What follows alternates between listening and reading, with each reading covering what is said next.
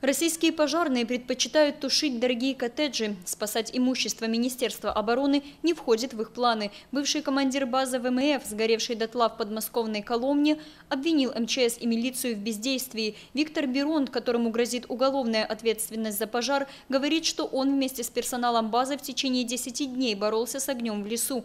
Никакой помощи они не дождались. Когда загорелась база, пожарные приехали спустя два часа после вызова. Причем они тут же кинулись спасать многомиллионные дачи. Тем не менее, следователи решили, что виновно командование базы. Оно якобы слишком поздно сообщило о пожарах.